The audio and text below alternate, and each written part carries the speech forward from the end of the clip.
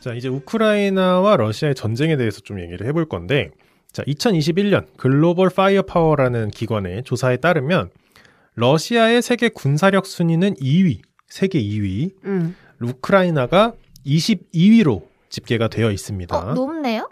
우크라이나요? 네. 참고로 대한민국이 6위입니다. 어... 이 조사에 의하면. 음. 네. 우크라이나 생각보다 높다. 어, 근데 되게 잘 사는 나라예요, 생각보다. 거기가 아, 제가 너무 무지한가 봐요. 아니, 거기가 정말 곡창지대라고 불리죠. 평야가 엄청나게 넓고요. 전 세계 식량의 몇 퍼센트 차지할걸요? 네, 그 정도로 흑토라고 하죠. 그리고 거기는 흙이 검은색이에요. 우크라이나는. 영양분이 음. 엄청나게 많아서 아무거나 심어도 난다. 아, 거의 그 정도? 복받은 그러니까 재테크에 좀 성공한 부동산 재테크에. 그리고 우크라이나의 국기가 약간 직사각형 가로로 찢어서 위에는 하늘색, 안에는 노란색인데 그게 파란 하늘과 잘 자란 농작물을 표현한다. 아, 비옥한 농작물 네. 이런 느낌. 그런 썰도 있습니다. 네. 정부의 공식 입장은 아니라고 했는데 아, 그 정도로 잘 사는 국가입니다. 제가 잘 몰라서 그래요, 여러분. 너무 뭐라 하지 마세요. 근데 사실 우크라이나 전쟁 때문에 저도 사실 우크라이나를 조사해 본 거지 그 전까지는 음. 저도 잘 몰랐어요. 자, 군 병력을 집계해 보면 러시아의 군 병력은 최대 301만 명, 우크라이나는 최대 115만 명 정도로 병력 자체에서도 엄청난 차이가 납니다. 자, 그럼 러시아의 전쟁의 명분은 무엇이냐? 말씀드렸던 것처럼 친러 성향의 자주 독립국을 인정하고 보호하겠다라는 게 뭔가 이제 명분이었는데 하지만 그 내막을 알기 위해서는 러시아의 진심을 알기 위해서는 1949년으로 거슬러 올라가야 됩니다. 그럼 1949년에 무엇이 있었느냐? 앤서님이 그토록 찾아 외치던 나토가 여기서 나옵니다. 아, 음. 나토. 나토는 이제 북대서양 조약기구라고 해서 미국, 영국, 프랑스, 캐나다, 이탈리아, 포르투갈, 아이슬란드, 벨기에, 룩셈부르크, 덴마크, 노르웨이, 네덜란드 12개국이 1949년에 창설한 거예요. 왜 창설했죠? 창설의 이유는 동서 냉전 시대거든요. 네. 이제 미소 냉전 시대라고도 하죠. 소련과 그를 따르는 주변국에 대항하기 위한 군사 동맹입니다. 아. 이 서방 국가 쪽에 동맹이 굉장히 많아요. 동맹이 굉장히 많은데 이 나토가 가장 상징적으로 여겨지는 동맹이에요. 음. 왜냐하면 거대한 소비에트 연방에 맞서기 위한 서구의 연방이거든요. 음. 연방? 연합? 그 이후에 이제 그리스, 독일, 스페인, 터키, 슬로베니아, 알바니아, 몬테네그로 같은 서유럽과 남유럽의 국가들도 많이 가입을 하고요. 음. 문제는 동유럽이에요. 음. 소련이 1991년에 해체되면서 많은 동유럽 국가들이 그때 독립을 해요. 우크라이나도 그때였죠. 음. 그 중에는 발러 감정이 강한 국가들이 당연스럽게도 많았어요. 음. 그리고 그들은 러시아로부터 스스로를 지키기에는 어려움이 있다는 걸 너무너무 잘 알고 있습니다. 그러기에 나토 가입을 정말 간절히 원했었고요. 음. 그래서 폴란드, 헝가리, 크로아티아, 체코, 에스토니아, 슬로바키아, 불가리아, 리투아니아, 루마니아, 라트비아 같은 국가들이 1990년대부터 2009년대까지 지속적으로 가입합니다. 네. 음. 가장 최근에 가입한 나라가 2020년 3월 27일 북마케도니아 라는 북마케도니아? 네, 북마케도니아라는 국가까지 가입한 걸 보면 나토의 가입은 지금도 진행 중인 거예요. 음. 근데 가입 어떻게 해요? 그러니까 뭐 나 가입할래요. 그러면 해주는 건가? 아, 국가 입장에서 요청을 하는 거죠. 뭐 도, 가입비를 내나? 아, 방위비도 있겠죠. 분담 어. 방위비도 있을 거고. 근데 이게 러시아 입장에서 진짜 열받는 일이에요. 개 짜증 나죠. 네. 나 왕따 시키는 것도 아니고. 자, 이를 두고 나토의 동진이라고 표현을 합니다. 나토가 동쪽으로 진출한다. 라는 말인데 우선 소련 시대 때는 그렇게 동유럽 국가들이 많이 나토에 가입하지 않았어요. 음. 근데 러시아라고 빠져나오면서 소비에트 연방이 없어지면서 이때를 기회를 틈타서 독립하고 나토의 동맹으로 가입하면서 자국을 지키려고 했던 동유럽 국가가 많아진 거예요. 네. 사실 전 그 동유럽 국가들이 너무 이해가 됩니다. 다시 러시아가 우리를 음. 쳐들어오면 어떡하나를 고민한 거죠. 근데 이게 문제가 뭐냐면 러시아의 입장을 좀 이해해 보려면 어 나토가 막 여러 동맹국을 만들고 있을 때쯤에 당시의 미 국무장관이었던 제임스 베이커와 러시아가 만난 적이 있어요. 그리고 그 사람이 뭐라고 얘기를 했냐면 나토의 동진을 그만하겠다. 음. 동유럽 국가의 가입을 더 이상 받지 않겠다라는 구두 조약을 합니다. 하지만 구두 조약이어서 음. 실행 의무는 없어요. 네. 그냥 네. 뭐 약속만 한 거잖아. 새끼손가락 걸고. 그치, 그치, 그치. 그리고 실행 의무도 없었고요. 현재의 미국 국방장관인 토니 블링컨은 이렇게 얘기해요. 러시아가 아니 너네 나토 더 이상 안 받는다며. 동진 안 하겠다며. 근데 왜 계속 받아? 너네 그러면 안 되지 라고 했더니 지금 이제 국무장관인 토니 블링컨이 나토는 새로운 회원국을 받아들이지 않는다는 약속을 한 적이 없고 그럴 수도 그래서도 안 된다. 어. 어. 라고 인터뷰를 합니다. 이에 푸틴이 열이 끝까지 받아서 그들이 우리를 속이고 단호하고 뻔뻔하게 나토를 확장시키고 있다. 음. 라고 언급을 합니다. 그러니까 미국에서 지금 쌩깐 거예요? 쌩깐 거예요. 어, 미, 미국답다. 근데 이게 구두 조약이기 때문에 음. 사실 뭐 쌩깠다고 표현하기보다는 어 지킬 약속이 없다. 이렇게 얘기를 하는 거죠. 근데 이게 아- 진짜 아다르고 어다르고 우리가 그때 구두조약을 맺었지만 이러이러한 사정으로 우리는 더 받기로 했다도 아니고 우리는 어. 그런 말을 한 적이 없다 이렇게 나온 거잖아. 어, 그쵸, 그쵸. 얼마나 음. 얄미워. 그 동진이라는 말 자체가 좀 애매하긴 하잖아. 그러니까 어디까지가 어디까지가 동인데. 그러니까 이게 약간 어. 푸틴의 입장에서는 화낼 수밖에 없는 말을 계속 어, 그럼, 하고 그럼. 있는 거잖아요. 음. 내가 보기엔 이렇게 얘기했어지. 어, 러시아, 너 나토 들어올래? 어. 음. 너도 할 수 있어. 너도 할 수 있어. 어. 약간 이런 야, 건. 모르겠지만.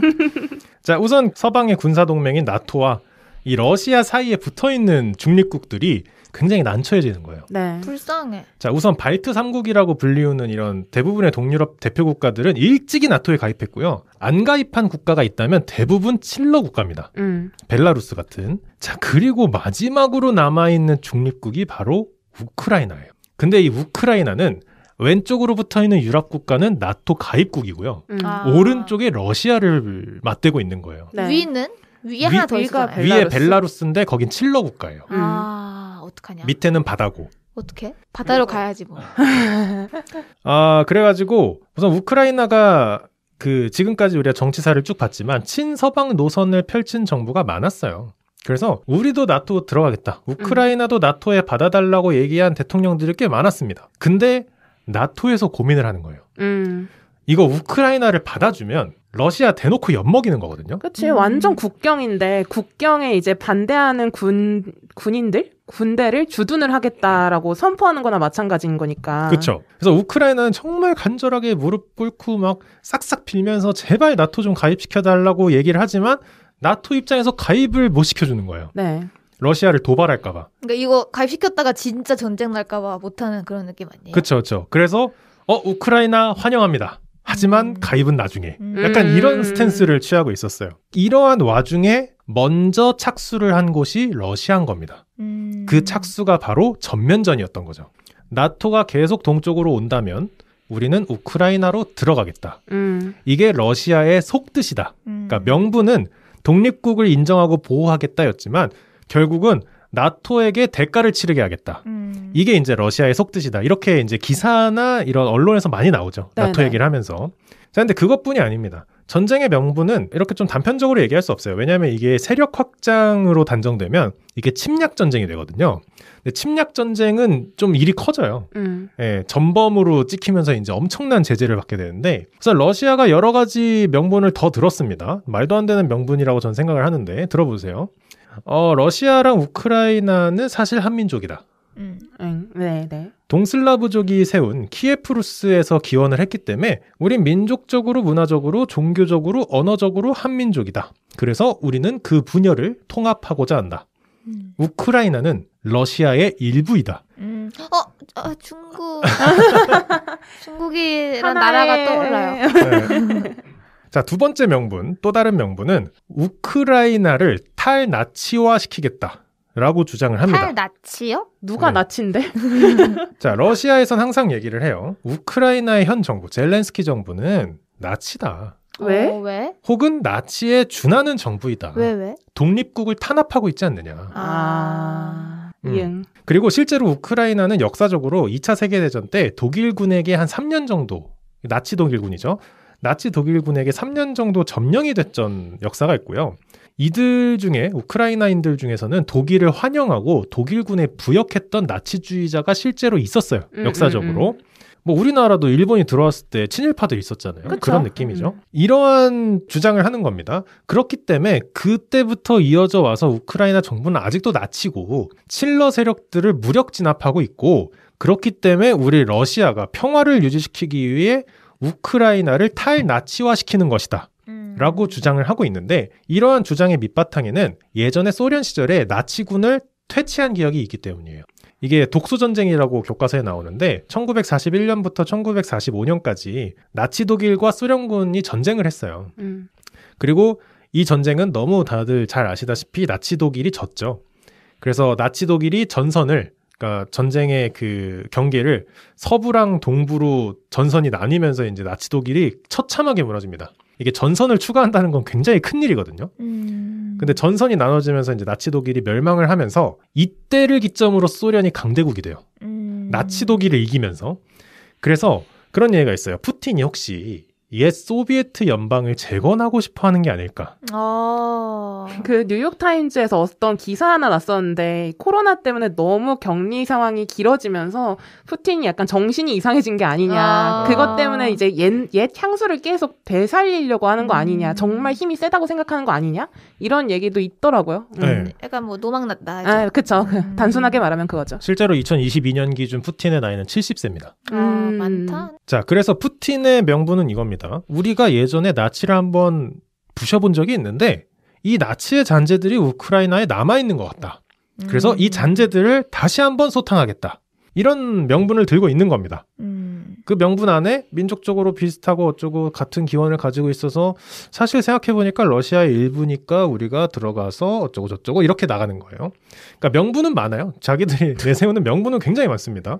자, 근데 이 우크라이나 러시아 전쟁이 있었을 때 예전에 그런 얘기가 있었어요. 우크라이나가 옛날에 핵무기가 굉장히 많지 않았나? 음. 조금 이제 나이가 있으신 분들은 그 체르노빌 원전 사고가 우크라이나거든요. 현재의 아. 우크라이나. 네네. 체르노빌이라는 이제 지역이 지금 우크라이나에 있는데, 어, 걔네 핵무기가 장난 아닐걸? 핵 기술이 장난 아닐걸이라고 생각을 할 수 있지만, 자, 우크라이나는 옛 소련 시절에 핵무기 개발과 원자력 발전소를 개발하던 곳이어서 정말로 소련 해체 이후에 그 자산을 그대로 물려받은 국가예요. 음. 오. 그래서 한때 170여 개의 핵미사일과 2,000기 이상의 전술 핵무기를 가지고 있던 세계 3위의 핵 보유국이었어요. 오. 까불면 다 죽이겠다. 음. 약간 그게 가능했던 국가입니다. 너 죽고 나 죽자. 음. 근데 당시 미국, 그 당시 소련 해체됐던 그 당시 미국은 러시아랑 너무 가깝게 있는 인접국이 그렇게 많은 핵무기를 가지고 있는 걸 굉장히 불안해했어요. 음. 그럴 수 있죠. 그쵸. 다시 둘이 합쳐버리면 어떡하지? 그런 생각을 하잖아요. 그래서 1994년에 미국, 영국, 러시아, 우크라이나 정상이 모여서 그 유명한 부다페스트 양해각서를 체결합니다. 아, 그게 이거구나. 이게 무슨 내용이냐면 우크라이나가 핵무기만 포기해 준다면 영토 보전과 주권 보장 그리고 경제적 지원까지 정말 싹싹 긁어서 다 해주겠다. 아, 남는 장사네. 예, 얘기를 하고 실제로 우크라이나는 여기에 서명을 합니다. 음. 이제 흔히 얘기하는 핵 확산 금지 조약이죠. 네네. 이게 미국이 이제 다들 아시다시피 2차 세계 대전에 일본의 핵무기를 두 방 떨어뜨려 봤는데 어, 너무 조화가 아니고 어 이건 이건 쓸 게 아닌데 이건 약간 좀- 음, 어. 써놓고 아, 또 이건, 이건 좀. 좀- 그러니까 일본에 떨어뜨려 보니까 야 이걸로 나중에 3차 세계 대전이 일어나면 큰일 나겠는데라고 음. 생각을 해서 이제 핵 확산 금지 조약이 있죠. 그래서 실제로 지금 대한민국도 핵을 가질 수 없죠. 1996년까지 4년에 걸쳐서 핵무기는 전량 폐기되었고요. 네. 미국에서 아, 폐기 됐어요? 네 폐기 폐기 어. 아예 폐기. 폐기도 하는구나. 누가 가져갈 폐기하지? 순 없잖아. 아, 그럼 음. 어떻게 폐기하지? 아, 이게 하나하나 살살 떼서 폐기하는 거죠. 어. 예. 사실 터트리지만 않으면 핵무기가 아니니까. 어. 예. 그래서 미국에서는 경제적인 지원, 이제 핵 과학자나 핵 기술자들이 다른 직업으로 갈 수 있게끔 이제 직업 이전 교육과 전환 비용을 포함해서 1억 8천만 달러 이상의 비용을 지출한 걸로 알려져 있습니다. 음. 근데 이것 때문에도 우크라이나 내부에선 좀 이제 나이가 있으신 분이 아, 그럴 수 있어요. 그런 얘기를 합니다. 그때 핵을 우리가 포기하지 않았어야 음, 음, 음. 러시아와 대등하게 싸울 수 있었다. 음. 뭐 그런 얘기도 있다고 음, 합니다. 음, 음. 근데 그, 당, 그 당시에 반대했을 사람들도 있었을 것 같아요. 아, 그 그쵸, 핵을 그쵸. 폐기하는 거에 있어서. 야, 미국이 돈을 저만큼 준다는데 우리가 해도 되지 않을까? 주권 보장해주고 영토 보전해준 다음에 그렇게 생각했던 거죠. 근데 나토가 가입 안 받아준 거 보면 그렇게 잘 해준 것 같지도 않고 음. 음. 뭐 여러 얘기가 있을 수 있습니다. 전쟁의 경과를 살짝 말씀을 드리면 지금 사실 지금 녹음하고 있는 와중에도 러시아와 우크라이나의 전쟁은 진행 중이어서 이게 약간 종전이 되거나 휴전이 되면 이제 뉴스 브리핑으로 한 번 더 말씀을 드릴 것 같긴 한데 영국 왕립 군사 연구소에 따르면 러시아는 우크라이나 침공을 1년 이상 심도 있게 계획했다. 어. 우크라이나를 물리력으로 침범해서 수도인 키이우, 이제 러시아 말로 키예프라고 하죠. 점령하는데 3, 4일 정도면 충분하다로 처음에 예측을 했다고 합니다. 네. 근데 생각한 것보다 우크라이나의 군인 그리고 국민들의 항전 의지가 엄청났어요. 음. 서방 국가들이 우선 나토 동맹국이 아니기 때문에 직접적으로 도와줄 수는 없어요. 군사를 이끌고 들어갈 수는 없는데 서방 국가들이 간접적으로는 도움을 많이 줘요. 음. 러시아가 침략한 것이고 우리는 침략을 받은 국가를 보호하겠다라는 약간 그런 명분으로 이제 간접적인 도움을 주는 거죠. 그래서 이 전쟁은 한 달 넘게 지금 진행이 되고 있습니다. 자, 전쟁의 시작은 당연스럽게도 우크라이나의 동부였던 돈바스 전쟁이 진행되고 있는 친러시아의 분리 독립 반정부 세력이 주둔하는 이 지역에서 시작이 됩니다. 자, 일찍이 러시아로 합병된 크림반도, 즉 남부에서도 우크라이나로 들어옵니다. 그러니까 남부에서 치고 올라오고 동부에서 서쪽으로 치고 들어오고 그리고 북부도 러시아랑 맞대고 있다 그랬죠. 거기서도 치고 내려옵니다. 음. 조여오네 사방에서. 네, 맞아요. 그리고 북서쪽을 조금 맞대고 있는 칠러 국가인 벨라루스에서도 신기하게 러시아군이 내려와요. 네. 어... 길을 열어준 거겠죠. 칠러랬으니까. 네, 네, 길을 열어준 거라고 보입니다. 너무한다. 자, 우크라이나의 수도이자 대통령이 거처하고 있는 수도인 키이우는 우크라이나의 중심으로부터 약간 북서쪽에 조금 치우쳐져 있어요. 음, 북, 지도 보니까 위쪽에 있던데 맞아요. 되게. 북, 북쪽하고 약간 서쪽에 이렇게 있는데 그래서 북쪽에서 내려왔을 것이다라고 추측을 하고 있습니다. 빨리 장악하기 위해서. 자, 우크라이나는 러시아가 침공한 바로 그날에 국가계엄령을 선포를 했고요. 18세부터 60세까지의 모든 남성 예비군을 소집을 합니다. 여성 예비군도 있을 수 있죠. 자, 이 소집령은 계엄령 선포일로부터 1년, 1년간 군인으로 복무를 하는 거고요. 예비군에 소집되지 않은 노인이나 일반 여성, 어린아이들은 지금 서부의 폴란드로 피난을 떠나기 시작했고요. 이 전쟁 피난민의 규모가 300만 명이 넘을 걸로 추산하고 있습니다. 이게 지금 러시아예요? 우크라이나. 우크라이나. 음. 자, 전쟁 초기에 러시아의 가장 우선 목표는 젤렌스키 대통령의 사살입니다. 음. 젤렌스키 정권을 무너뜨리는 거죠. 음. 자, 이전에 강대국들이 항상 그래왔듯이 젤렌스키 정권을 무너뜨리고 러시아에게 우호적인 정부를 세워서 사실상의 괴뢰 정부를 세우려고 하는 거예요. 음, 음. 그래서 미국이 젤렌스키 대통령에게 이렇게 얘기를 합니다.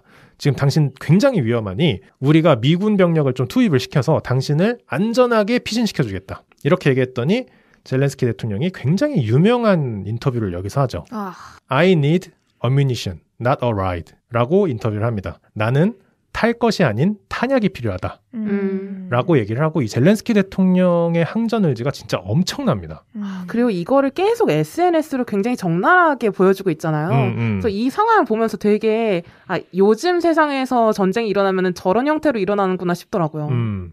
자, 우선 암살 혹은 생포, 사살 등의 엄청난 위협이 있습니다. 젤렌스키 음, 음. 대통령은. 그런데도 강력한 항전 의지를 내비치고 있고요. 이는 당연스럽게도 군대의 사기 증진과 더불어서 전 국민적인 항전 의식을 고취시키는 결과를 낳고 있어요. 아, 그래서 외교 및 국방에 실패했다. 자국이 전쟁을 시작하게끔 만들었다라는 비판에서는 자유로울 수 없습니다. 젤렌스키 대통령은 외교 실패라고 보는 사례도 있기 때문에. 하지만 전쟁이 터진 이후로는 국군 통수권자로서의 능력을 정말 열심히 발휘하면서 2월 말 전쟁 직후에 했던 지지율 조사에서 지지율 91%가 나옵니다. 와. 남의 나라인데 진짜 가슴이 웅장해지네. 네.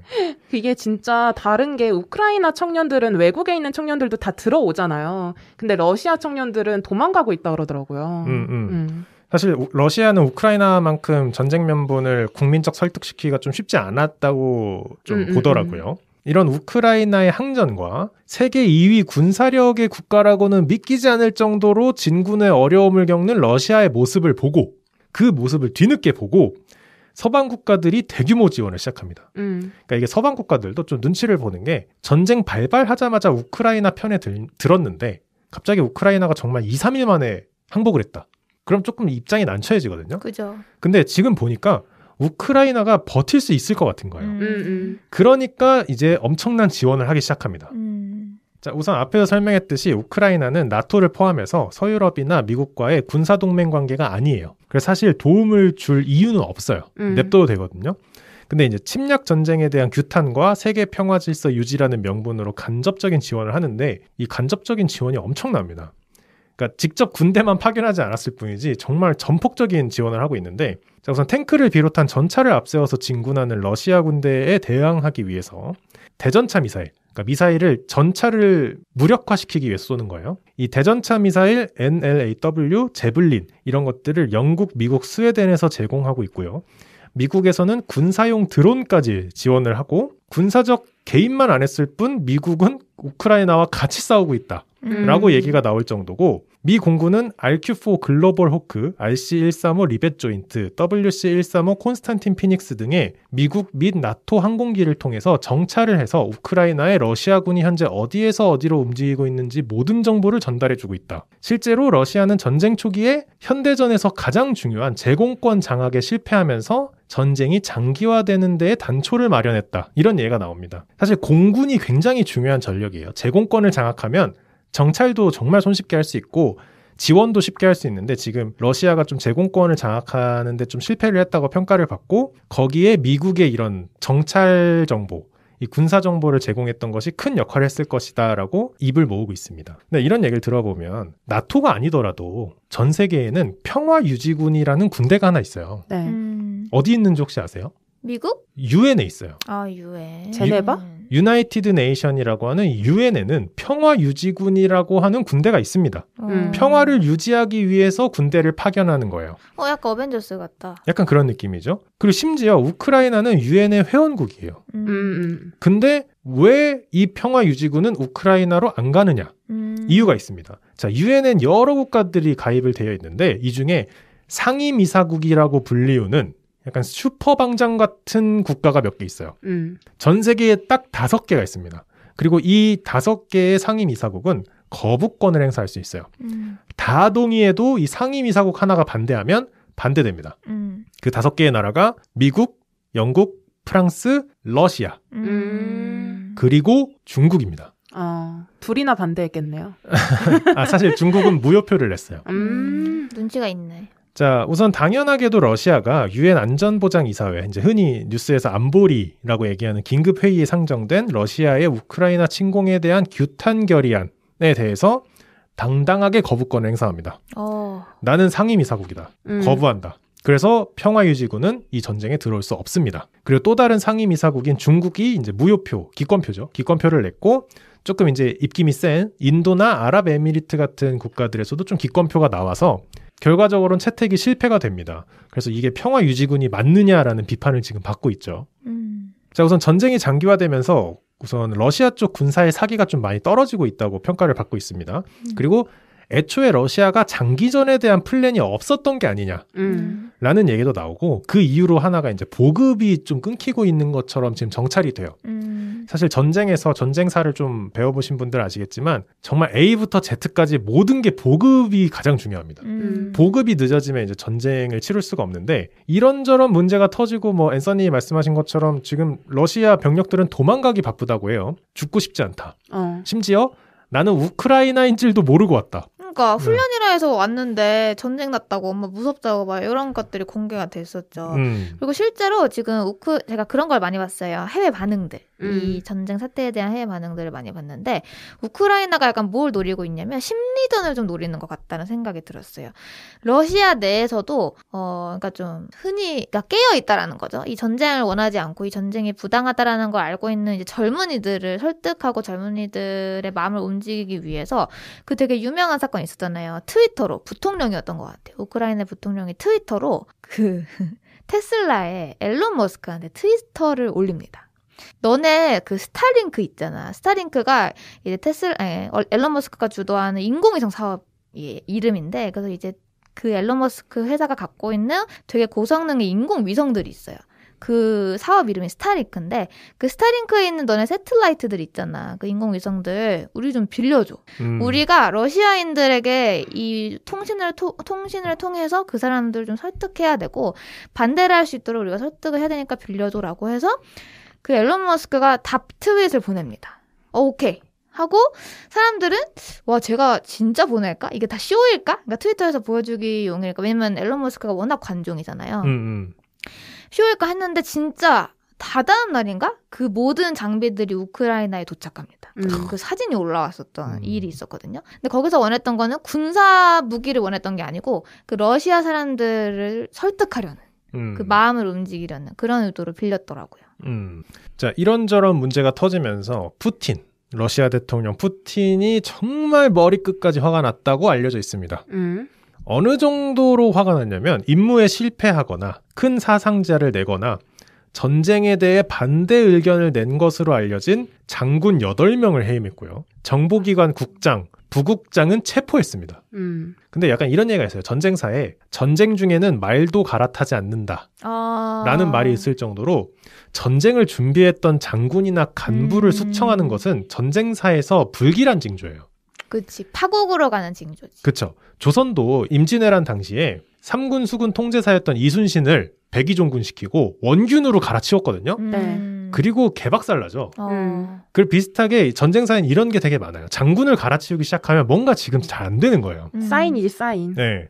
그렇게 평가를 받고 있고 지금 아직 전쟁은 진행 중이지만 푸틴의 패착으로 지목되는 건 총 다섯 가지 정도가 있습니다. 첫 번째가 러시아군의 사기 저하. 음. 러시아의 국민적인 전쟁의 명분이 없다라는 거고 두 번째가 우크라이나에 대한 과소평가. 이게 무기를 지원할 수는 있어도 의지를 지원할 수는 없다라는 말이 있어요. 아. 근데 러시아를 대항하는 우크라이나 국민들의 이 항전 의지가 엄청났기 때문에 이것을 과소평가했을 것이다. 라는 게 있고 세 번째가 시대에 뒤처진 전략. 음. 그래서 이제 좀 노망났다 이런 얘기가 이제 여기서 나오는 건데 어 지금 미국이 지원하는 걸 보면 대전차 미사일 전차가 이렇게 탱크가 가고 있으면 미사일 한 방 쏘면 전차가 무용지물이 돼요. 음. 근데 그게 미사일 하나가 탱크 가격으로 뭐 비교하면 40분의 1? 어. 뭐 이 정도인데 음. 1대1로 교환이 가능한 거예요. 그 정도고 또 미국은 군사용 드론 이런 걸 막 지원을 하는데 어 러시아는 전차 부대만 계속 와요. 음. 계속 탱크만 끌고 옵니다. 아, 옛날식 음. 전쟁 느낌. 그리고 처음에 포격했던 곳이 방송 시설인데 방송 시설을 포격했는데 인터넷 시설을 공격을 안 하는 거예요. 어. 그래서 우크라이나에 실제로 지금도 인터넷이 어느 정도 잘 되고 있다고 하고 그리고 네 번째가 푸틴의 의견에 반대하는 이가 없는 정치 구조. 이건 이제 약간 독재자의 전형적인 모습이긴 하죠. 음. 그리고 다섯 번째가 견고한 서방의 대러시아 경제 제재입니다. 아, 이건 뉴스에서 많이 봤어요. 이건 뉴스에서 많이 보셨을 거예요. 자, 우선 서방에서 우크라이나의 군수물자를 지원하는 것 외에 병력을 투입할 수는 없기 때문에 러시아에 대해서 정말 강도 높은 경제 제재를 시행을 하고 있어요. 이건 너무 많이 들어보셨을 거라서 짧게만 말씀을 드리면 우선 그 수위가 상상을 뛰어넘을 정도입니다. 음. 역사책에 쓰일 정도의 경제 제재. 예를 들면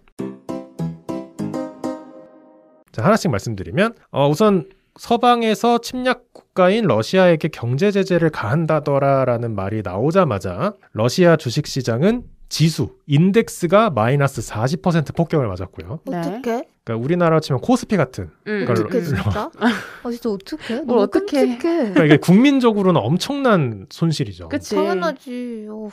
자, 그래서 러시아 증권거래소가 다급하게 휴장을 합니다. 음. 음. 야, 샷다 내려, 샷다 내려.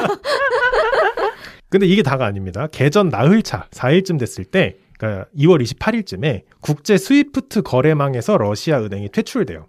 이게 이제 많이 이제 기사에 나왔는데 어, 우리가 아는 대부분의 달러나 외화 거래는 현물로 이루어지지 않아요. 스위프트라는 결제망을 통해서 이제 디지털로 다 이루어지는데 여기서 러시아 은행이 퇴출되면 이게 무슨 말이냐면 우리나라도 외환 보유고라는 말이 있잖아요. 네. 근데 그게 진짜 대한민국 영토 안에 달러, 유로화 이런 걸 쌓아놓는 게 아니고 스위프트라는 결제망에 대한민국의 외환 보유고가 몇천억 달러가 있다 이렇게 찍히는 거거든요. 근데 여기서 러시아가 빠졌던 얘기는 뭐냐면 외환 보유고 지금까지 가지고 있던 게 다 묶이는 거예요. 음, 음, 음. 정말로 자기네들이 들고 있던 외화만 의미가 있는 거고 결제망에 올라가 있던 모든 외환 보유고가 동결되는 거거든요. 네. 저 무슨 마- 무슨 상황인지 너무 알 것 같아. 음, 음. 예를 들면 나 비트코인 사놨는데 그 계좌가 막힌 거야. 그치, 그치. 그치. 이거를 나 K KRW로 빨리 바- 환전해야 되는데 환전이 안 된다는 거야. 뭐 음, 이런 음. 진짜 어, 너무 끔찍한데. 최악의 상황인 거죠. 최악의 상황이죠. 왜냐면 그러면은 시민, 그러니까 서민들도 박살나죠. 주식을 하고 있었을 거 아니에요. 네. 음. 그러면 야야야 우리 뭐 됐다 이러면서 빨리 달러로 바꿔 하는데 그게 안 되는 거잖아. 그렇죠, 그렇죠. 그래서 러시아가 보유하고 있다고 하는 외환 보유고가 약 6,300억 달러로 알려져 있었는데 어, 존재하는 건 그대로 존재합니다. 아, 그죠, 그죠. 장부상엔 음, 존재하는데 음. 쓸수 없는 돈이 된 거고요. 그래서 실제로 지금 러시아가 사용할 수 있는 외환 보유고가 얼마일까를 이제 미국에서 추산을 해보니 120억 달러가 안 될 거다. 음. 참고로 한국의 외환 보유고가 4,600억 달러입니다. 음. 어. 그리고 러시아의 외환 보유고 120억 달러는 참고로 대한민국 IMF 시절보다 낮은 거예요. 음. 코딱지만큼 있는 거네요, 지금. 진짜 코딱지만큼 음. 있는 거예요. 그리고 그 러시아 펀드들 있잖아요. 러시아 음. 지수 펀드들. 그러니까 해외에 있는 사람들이 러시아의 주식에 어떤 묶인 상품들 뭐 이런 것들도 그거 지금 몇 개는 아예 끝나서 다환 참전해줬습니다. 아, 아예 음. 상패됐죠. 네, 항패됐어요. 자, 그래서 그럼 러시아가 외환 보유고 막혔습니다. 그리고 또 한 가지 중요한 재산 중 하나가 금이죠, 금. 네. 근데 사실 금도 뭐 대한민국 금 보유량이 얼마다라고 하는데 그 현물로 갖고 있는 게 아니에요. 음. 그냥 아니었어요? 현물은 어디 유럽의 되게 유명한 은행에 들어 있고 금고 안에 들어 있고 대신에 거기에 소유자가 대한민국이라고 써 있는 아, 거죠. 증서를 받고 있는 거죠? 그쵸, 그쵸. 아, 증권 거래만 하는 거죠. 증권 거래만. 그래서 러시아가 보유 중인 금도 대부분 현물이 아니고 전 세계 각지의 금 거래소나 은행의 장부상으로 가지고 있을 텐데 이걸 돈으로 바꾸는 것도 금지됐습니다. 어떻게? 다 막힌 거예요, 다. 그리고 유럽권, 서유럽을 포함한 유럽권에서는 러시아와 함께 추진 중이던 정부 정책이나 사업 과제 당연히 다 중단하고요. 수출 제한, 수입 제한 다 실행하고 있습니다. 자, 이렇게 러시아의 외환 보 유고가 묶여 버렸는데 묶여 버린 게 문제가 아니죠. 상환이 1년밖에 남지 않은 대외 채무. 음. 이런 얘기하면 이제 예전에 저희 했던 국가 부도 위기, 어, 어, 어. 음, 저희 그 국가 부도의 날이라는 대한민국 얘기를 한번 했었는데 그때랑 비슷하죠. 상환이 1년 이내로 남은 단기 대외 채무가 1,350억 달러 이상인 것으로 알려져 있어요. 1350억 달러. 아까 120억 달러 갖고 있다 그랬거든요. 주머니에. 자, 만약에 경제 제재가 이 상환이 다가오는 날까지 계속 유지된다면 러시아는 국가 부도가 됩니다. 음. 디폴트가 돼요. 그래서 스탠다드 앤 푸어스라고 하는 신용평가사들 S&P라고 하죠. 러시아의 국가 신용 등급을 투자 부적격에 해당하는 CCC-로 8단계를 강등했고요. 또 다른 신용평가사인 피치 또한 러시아의 신용 등급을 B3로 낮춰서 기존보다 6단계 내렸고요. 어, 이제 기업들도 이 어쨌든 침략국인 러시아에 대한 경제 제재에 동참하기 위해서 민간 기업들도 러시아 제재에 가세를 합니다. 근데 이거 한번 쭉 읽어드릴 텐데 아 정말 전 세계에 어, 대단한 기업들이 많구나라는 걸 좀 느꼈습니다. 쭉 읽어드릴게요. 러시아 제재에 동참한 기업입니다. 마이크로소프트, 어도비, BC카드, 비자카드, 마스터카드, 아메리칸 익스프레스, DFS, 넷플릭스, JP모건, 무디스 피치, 루이비통 모에 헤네시, 케링, 구찌, 발렌시아가, 보테가 베네타, 생로랑, 맥도날드, 펩시콜라, 코카콜라, 페라리, 람보르기니, 제네럴 일렉트릭스, 로레알, 아디다스, 소니, 닌텐도, 네슬레, P&G, 유니레버, 유니클로, 슈퍼셀, 이베이, 스타벅스, 인텔, 애플 등. 음. 여기서 제일 기억에 남았던 브랜드 뭐예요? 난 애플이었어. 아, 이게 사람이 성향 들어. 나는 약간 중간에 나왔던 그 명품 브랜드들. 나는 박혔어요. 카드사들 아, 음. 결제가 안 될 거 아니에요. 그러니까 맞아요. 지금 네. 국민들 입장에서는 전쟁이 문제가 아니라 내가 지금 카드도 결제가 안 되고 맥도날드 가고 싶어도 못 가고 유니클로에서 이 옷 사고 싶어도 못 사는 상황인 거잖아요. 맞아요. 지금 실제 러시아 지하철에 애플페이가 안 돼서 어, 어, 어. 줄서 있는 아, 사진들도 지하철에 나와요. 애플페이로 다니고 있었던 거예요? 네, 네, 우리나라 네. 빼곤 다 요새 애플페이 쓰잖아요. 몰랐어. 아. 지하철도 되는구나. 아, 그럼 음. 우리나라 삼성페이도 지하철 찍어요? 찍히죠. 아, 몰랐어요. 자, 그래서 이렇게 사업을 중단을 했고요. 지금 말씀드린 기업들이 사업을 중단하고 심지어는 사업을 아예 철수하기로 결정한 기업들도 있습니다. 그래서 앤서님 말씀처럼 러시아 국민들은 어느 날 자고 일어났더니 카드가 사용이 안 되고요. 음. 현금 인출도 안 돼요. 만약에 어떻게 살아? 외국계 은행을 이용했을 경우에는 그러니까 우리나라도 스탠다드 차타드 이런 은행 있잖아요. 네네. 그런데 이용했을 경우에 현금 인출도 안 되고요. 사용하던 컴퓨터가 한 번 고장나면 수리할 수 없습니다. 음. 그리고 부품을 새로 공수할 수도 없고요. 스마트폰 작동 중지됐고 뭐 맥도날드 같은 무- 음식점들도 하루아침에 다 문을 닫고 고용된 사람들이 전부 해고된 거예요. 사실 러시아 입장에서는 국민들 입장에서는 전쟁에 반대할, 만- 반대할 만하다고 생각합니다. 당연하지. 아니, 지금 전쟁인 거 보고 우리가 지금 먹고 살기가 힘들어졌는데, 아니, 음. 진짜로 힘들어진 거잖아요. 이게 장난이 어, 그쵸, 아니고. 그쵸. 음. 이게 으쌰으쌰해서 버틸 수 있는 어, 수준이 아니죠. 거잖아, 예. 지금. 자, 러시아에 진출한 한국 기업도 상당히 많습니다. 근데 이제 대부분 이제 사업이 지금 중단된 상태긴 한데 이런 경제 제재에 가세하겠다 이런 게 아니고 실제로 이제 자재가 없어지고 사업 진행 자체가 좀 불가능해지니까 그런 사업적인 이유로 현재 사업을 많이 중단하는 상태이고요. 사실, 손해 본 거죠. 만약에 러시아 진출한 우리나라 기업이 있었다면. 그렇죠, 그렇죠. 손해를 보고 있겠죠, 그들도. 자, 여기서 이제 러시아가 자신들에게 제재를 가하거나 해를 입힌 나라를 일일이 거론하면서 푸틴이 하나하나 거론을 합니다. 이들을 러시아 비우호 국가로 지정해서 역으로 제재하겠다라고 발표를 합니다. 여기에 포함된 국가가 미국, 영국, 일본, 우크라이나, 유럽연합에 있는 모든 회원국, 캐나다, 뉴질랜드, 노르웨이, 싱가포르, 대만, 그리고 대한민국. 음. 이렇게 포함이 돼서 대한민국 입장에서는 어 우린 우리도 우리도 해주는 우리, 거야? 우리, 우리 뭐 했어? 어. 어, 어, 우리 미국 영국 일본 우크라이나 유- 유럽연합 캐나다 뉴질랜드랑 같은 편이었나 껴주는 건가? 이렇게 됐고요. 어, 그래서 이제 우크라이나와 러시아는 전쟁 발발 4흘차부터 고위 관료들이나 이 장군들끼리 모여서 회담이나 협상을 계속했습니다. 아무래도 전쟁이니까. 근데 당연하게도 너무너무 당연하게도 두 우크라이나 러시아 이 대표들이 주장이 서로 받아들여지지가 않아요.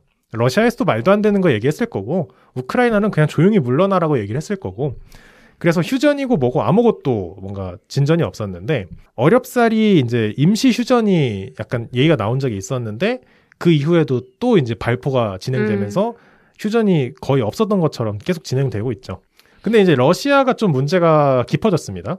2, 3일 혹은 3, 4일 만에 우크라이나를 장악하고 아직 러시아는 건재하다. 음. 라는 걸 전 세계에 보여주려고 했던 게 푸틴의 의도였을 텐데, 어, 한 달 됐거든요? 음, 음. 이거 철군하면 난리 납니다. 그쵸. 철군하면 우선 푸틴은 끝났다고 봐야 돼요. 음. 아, 근데 약간 그 러시아가 빠질 수 있을 때 빠졌어야 됐는데, 그러니까 지금 그러니까. 못 빠진 상황이 되잖아요. 그러면은 그치, 사실 그치. 반대편 입장에서도 안타깝죠. 음. 빠져주는 게 제일 베스트인데 이제 그들도 진퇴양난의 상태가 와버린 거니까. 음. 아까 나왔던 그 공화국 두 개 정도, 그냥 크림 때처럼 약간 독립 승인하고 거기서만 좀 국지전이 발생하고 크림 때처럼 끝났으면 모르겠는데 지금 음. 전면전을 했거든요.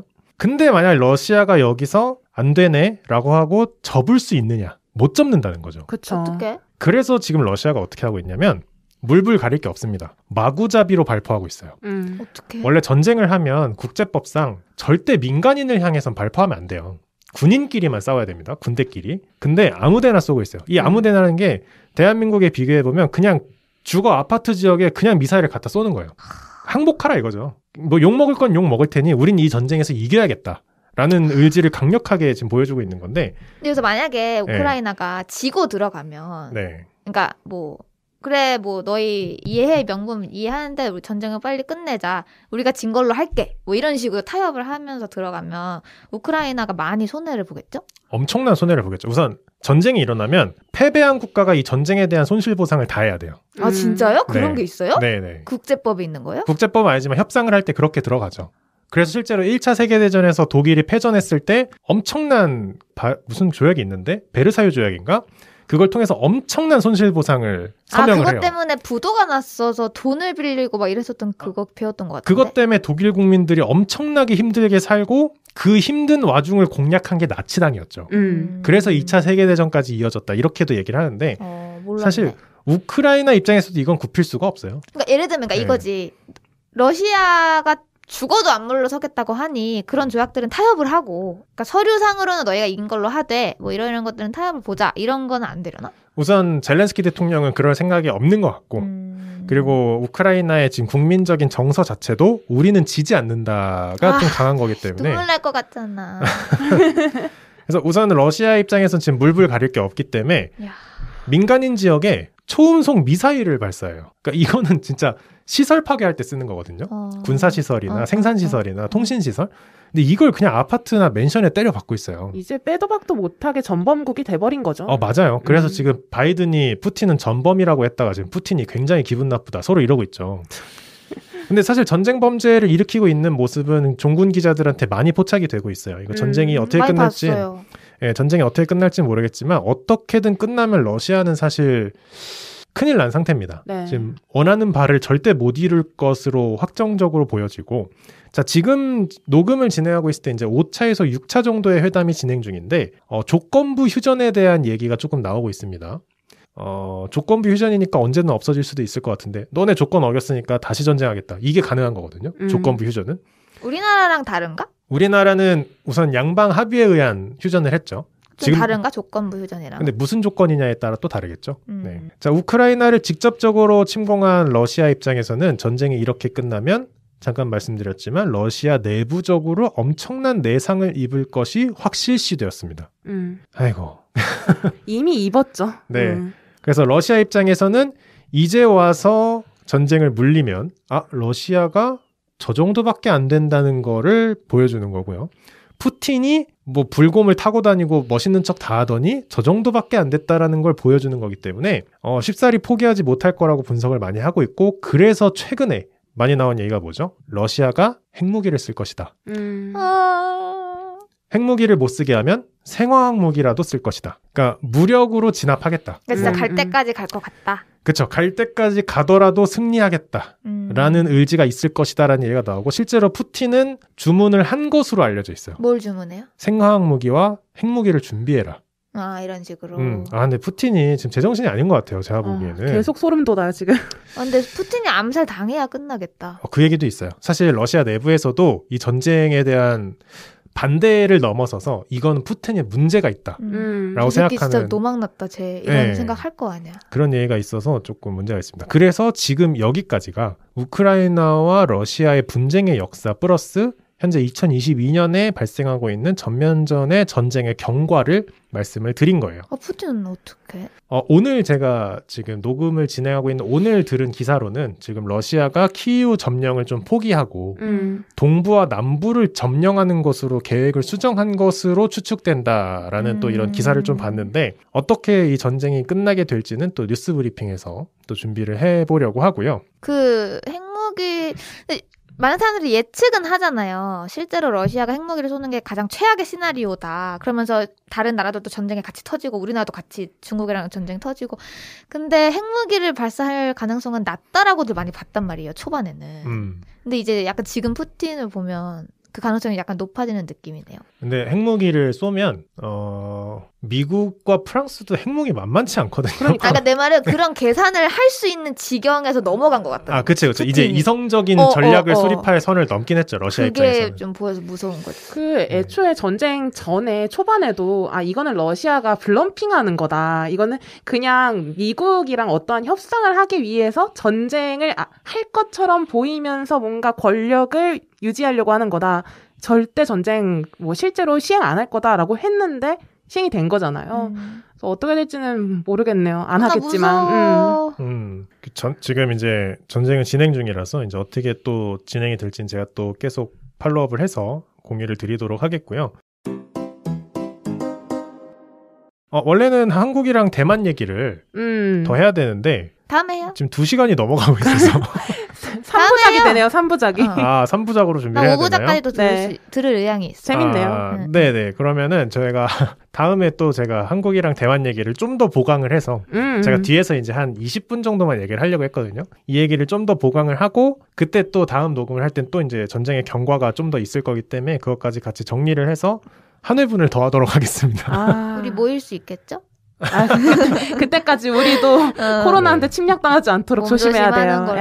네. 그래서 지금 현재 진행 중인 전쟁이기 때문에 이렇게 A부터 Z까지 전부를 훑는 정보보다는 그 토픽 토픽에 좀 집중하는 기사들과 뉴스들 혹은 정리된 자료가 많은데 이 전반적인 흐름을 이해하기 위해서 우크라이나의 탄생부터 지금의 전쟁까지의 스토리를 전부 한번 정리를 해드렸고요. 저는 이 내용을 정리하면서 한번 느낀 게 대선이 얼마나 중요한가. 음. 음. 지금 대선이 끝났죠? 네네. 그 전에 했었어야죠. 일부러 끝나고 한 거죠. 아니 뭐 그런 건 아닌데. 어 물론 우리나라의 정치인을 얘기하는 게 아니라 예. 이 나라의 외교적 행방을 결정하는 국군 통수권자가 누가 되느냐가 얼마나 중요한지에 대해서 이 우크라이나의 사례를 보면 알 수 있을 것 같아요. 음. 그러니까 친 어디냐가 생각보다 엄청 중요하겠다 이런 음. 생각이 드네요. 맞아요. 우리나라도 좀 그거에 좀 갈리는 편이잖아요. 어 그렇죠. 우리나라도 그거에 대해서 말이 많고 이제 우크라이나만큼 대한민국이 격렬한가에 대해서는 동의할 수는 없지만 음. 그쪽은 너무 극렬하기 음, 음. 때문에 하지만 한 나라의 수상이 한 나라의 대표가 누가 되어서 어떤 행보를 펼치느냐가 이 국가의 운명에 얼마나 중요한 역할을 하는지 그런 걸 좀 느낄 수 있었던 역사였던 것 같습니다. 무섭다. 왜냐면은 이 사실 저도 이걸 대선 전에 들었으면 더 좋겠다는 생각이 많이 드는 게 우리나라도 이제 친중이냐 혹은 뭐 친일이냐 뭐 친미냐 미냐. 뭐 이렇게 많이들 얘기를 하는데 이번에는 결국에는 친중 세력이 나가고 약간 친미 세력들이 붙었잖아요. 네. 그 행보가 우리나라 국민들도 분명히 뽑을 때 지금 러시아와 우크라이나를 봤을 거란 말이죠. 그리고 이제 그 전쟁에 관련해서 대선 후보들 시절에 토론하면서 얘기도 했었고 그런 것들 생각했을 때 나도 투표할 때 그걸 과연 고려를 했을까? 이런 국제적인 걸 고려했을까? 아니면은 그냥 우리나라 안에서의 국내 상황 혹은 나의 선호 이런 것만 고려를 했을까? 뭐 이런 생각이 좀 드는 회차였고 전 너무 재밌게 들었고 어, 다음에도 이렇게 해주시면은 음. 저는 약간 지금 듣는 마음으로 왔어요. 청취자의 아, 예. 마음으로. 음. 어. 음. 그래서 아, 나는 조금 되게 길어서 지루하진 않을까라고 생각했는데 너무 재밌게 들었고 음. 거의 공중파 방송에서 가져다 써도 되는 소스다 이 정도면 사서 가야 어, 돼. 사가야 될 것 같은데 돼. KBS에서 연락 주시면 좋을 것 같고요. 제, 가 KBS 기사를 참고했을 수도 있었기 때문에 네네. 음. 아무튼 근데 이게 계속 얘기 듣다 보면은 명분 없는 권력의 말로는 항상 비슷비슷한 것 같은데 음. 왜 이렇게 역사는 되풀이가 되는 건지 인간은 정말 인간이 모자라서 이런 오 오 뭐라고 해야 되지 오만 오만 이런 음. 것들을 계속 어, 시행을 하는 건지 싶기도 하고 답답한 마음도 있는 와중에 잘 해결됐으면 잘 해결됐으면 하는 마음도 있네요. 음. 네. 어, 사실 지금 러시아가 이 참전국 혹은 이 침략국으로서 규정되긴 했지만 어떻게 보면 이 공산주의 권력주의 세력과 음. 자유민주주의 세력의 정말 100여 년 만에 재전면전? 네, 신냉전이라고도 하잖아요. 네, 이렇게 지금. 표현을 하는데 사실 서방에서도 물러날 수 없어요. 음. 이거 우크라이나가 러시아에 귀속되면 어, 자유민주주의 세력이 졌다라고 표현할 수 있거든요. 네. 러시아 입장에서는. 그리고 중국도 그거 가지고 선전 엄청나게 할 것이고. 음. 그렇기 때문에 그 누구도 물러설 수 없는 장기전이 된 거예요. 그러니까 처음엔 아무도 이렇게 될지 몰랐지만 그치. 음. 생각보다 일이 엄청나게 커진 거죠. 음. 그리고 실제로 지금 러시아와 중국은 악수했죠.